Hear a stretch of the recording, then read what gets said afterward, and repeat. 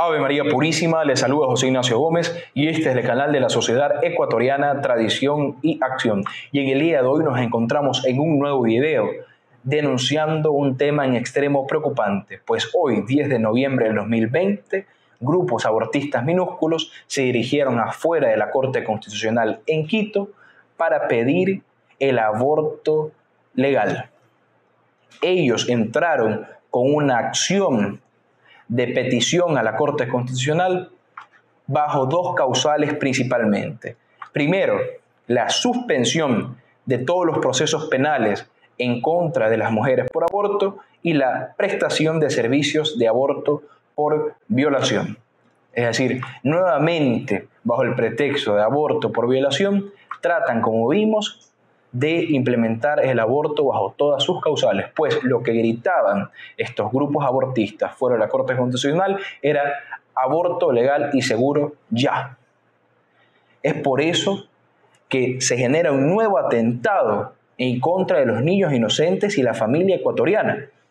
Y el pueblo ecuatoriano, el pueblo católico ecuatoriano tiene que estar atento, pues esta acción está siendo presentada a la Corte Constitucional, que es un órgano que ya traicionó a la familia ecuatoriana, pues terminó aprobando en 2019, dio el fallo a favor del mal llamado matrimonio homosexual, matrimonio igualitario, a pesar de la gran reacción del pueblo ecuatoriano, que en encuestas decía que el más del 90% de los ecuatorianos se demostró en contra de esta aprobación.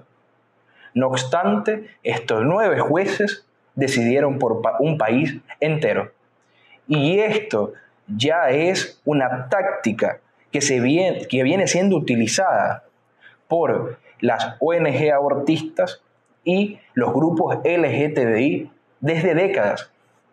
Pues, para poner un ejemplo, podemos ver en el caso de los Estados Unidos, en la sentencia de la Corte Suprema en el caso de Roe versus Wade, que en enero 22 de 1973 terminó despenalizando el aborto hasta el tercer trimestre de embarazo.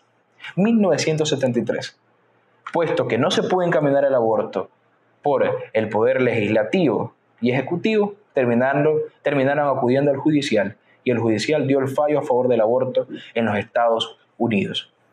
Y esto es un crimen, una matanza de niños inocentes que fue aumentando a través de los años. Y el día de hoy, en los Estados Unidos, cada año se asesinan más de 55 millones de niños inocentes en el vientre materno. 55 millones de niños asesinados por sus propias madres. Imaginémonos una cifra que va increciendo. Es por ese mismo camino que quieren llevar a estas tierras consagradas al Sagrado Corazón de Jesús y al Inmaculado Corazón de María. Es decir, llevarla a un verdadero abismo.